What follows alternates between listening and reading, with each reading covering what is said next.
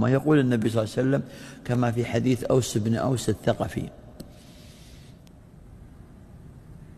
قال سمعت رسول الله صلى الله عليه وسلم يقول من غسل واغتسل وبكر وابتكر ومشى ولم يركب ودنا من الإمام ولم يلغو كان له بكل خطوة صيام سنة وقيامها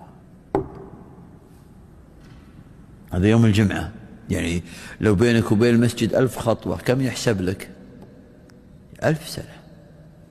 كان له بكل خطوة صيام سنة وقيامها. رواه أبو داود في سننه. والنسائي. والترمذي وابن ماجه وهو حديث صحيح.